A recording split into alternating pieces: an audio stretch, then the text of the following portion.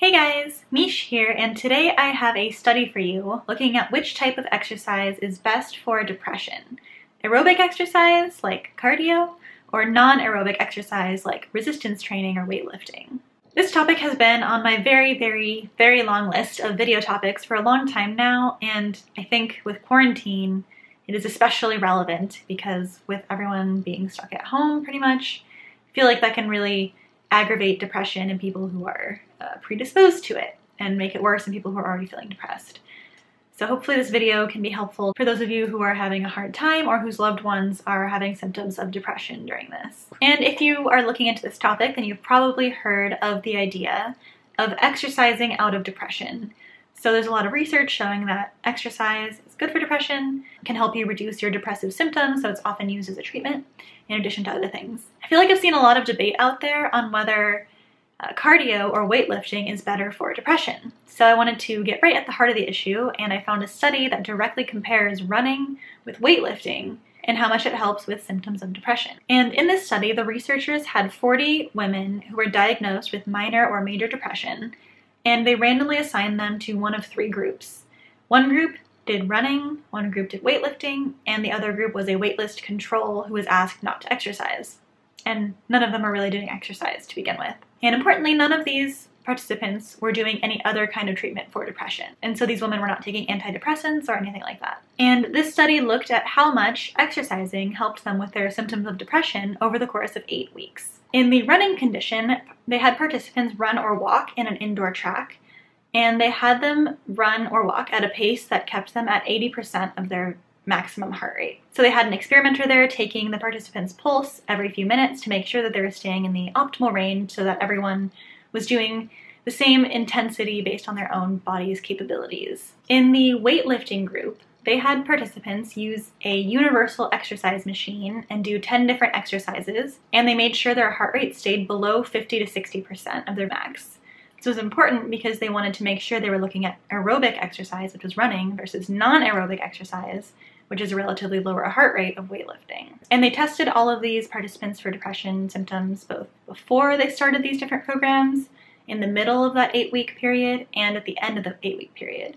And they also did three follow up tests after this whole exercise program was done at one month, seven months, and 12 months later. So, this study is a really nice way to look at how doing an eight week exercise program now might help you with depression even over the course of a year. And so now to get into the results, the participants were asked to do their exercise depending on which program they were in uh, four times per week, but on average they only did it 2.8 times per week. So keep in mind with all these results, they were actually only doing two to three of these exercise sessions per week for the eight weeks. And both exercise groups had a gigantic improvement in depression symptoms, whereas the waitlist control group, who did not do any exercise, did not see any improvement.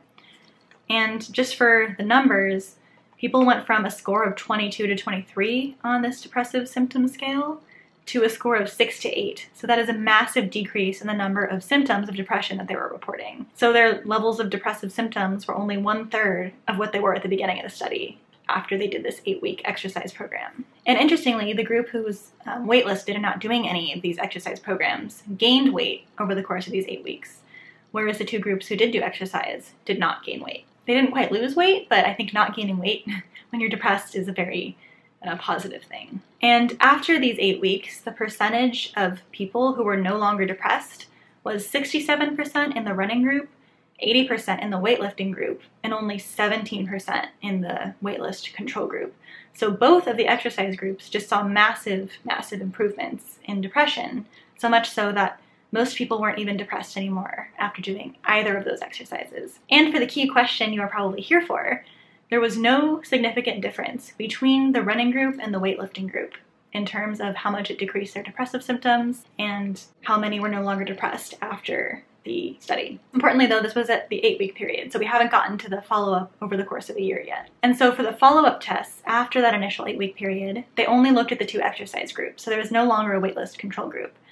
But they found that at both one month and seven months after they were done with their prescribed exercise program, both the runners and the weightlifters were still 80% non depressed. So 80% of them still kept their benefit of no longer being depressed. But interestingly, at 12 months, so a year later, a lot more people who ran were depressed than people who lifted weights. Only 30% of the runner group was still not depressed, whereas 80% of the weightlifter group was still not depressed.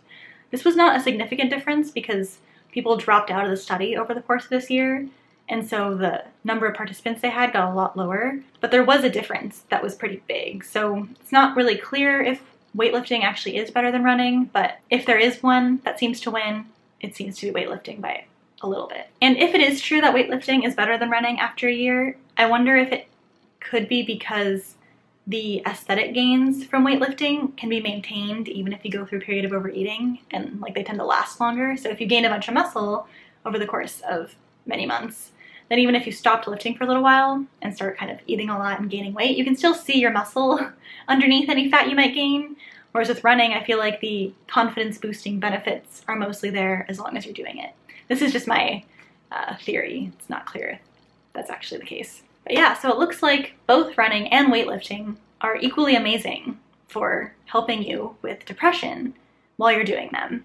And they seem to have very long lasting benefits over the course of a year, and particularly weightlifting. But the main takeaway from this study is that you should do whatever type of exercise that you enjoy the most and that you find the easiest to motivate yourself to do.